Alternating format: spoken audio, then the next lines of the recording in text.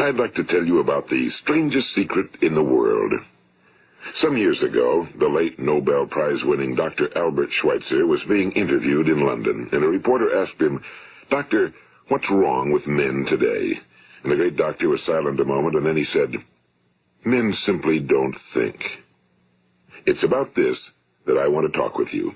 We live today in a golden age. This is an era that man has looked forward to, dreamed of, and worked toward for thousands of years. But since it's here, we pretty well take it for granted. We in America are particularly fortunate to live in the richest land that ever existed on the face of the earth, a land of abundant opportunity for everyone. But do you know what happens? Well, let's take a hundred men who start even at the age of 25. Do you have any idea what will happen to those Do you have any idea? Listen very carefully to the next 30 seconds or so.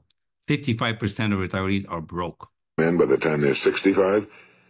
These 100 men who all start even at the age of 25 believe they're going to be successful. If you ask any one of these men if he wanted to be a success, he'd tell you he did.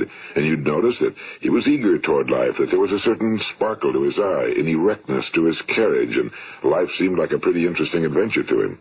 But by the time they're 65, one will be rich. Four will be financially independent. Five will still be working. 54 will be broke. Now think a moment. Out of the 100, only five make the grade. Now why do so many fail? What has happened to the sparkle that was there when they were 25? What's become of the dreams, the hopes, the plans? And why is there such a large disparity between what these men intended to do and what they actually accomplished? So what happened? Oh, we're figuring it out. Okay. We're figuring this out. Check below for more. Is it strange or not for you?